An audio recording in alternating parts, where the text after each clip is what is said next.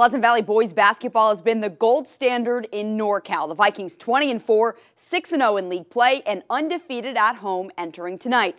But if anyone could beat the Vikings, it's Foothill. The Cougars won 5 of their last 6 games coming in. These are the top two teams in the Eastern Athletic League, and you could tell. Pick it up second quarter. Foothill down four. Reagan Patton is absolutely rejected by Gavin Garrettson. Bats that one back to Palisadro. Later, Cougar senior Hudson Edwards to Asa Arnold. He gets it to fall. Pleasant Valley up 29-24 at the half.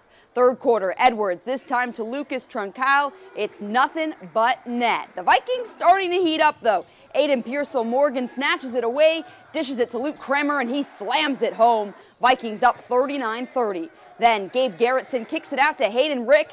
He cashes in on the wide open three. A 12-0 run for PV, and Foothill just didn't have an answer. Vikings win 63-51. They're 21-4 overall, 7-0 in league. Across town, Chico girls basketball hosting Enterprise.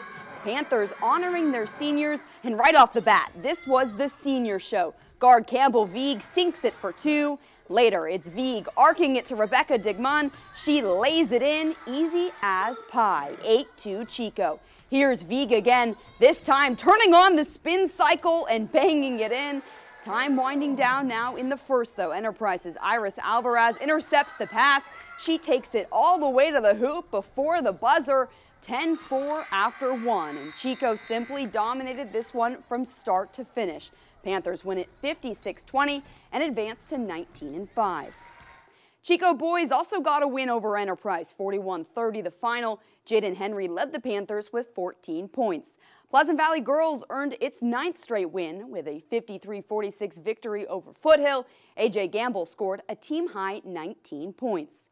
Orland girls basketball cruised past Oroville 54-24. The Trojans remain unbeaten in Butte View League play. Plus, Yreka upset Uni University Prep girls 49-47. The Panthers dropped to 5-2 in the league standings.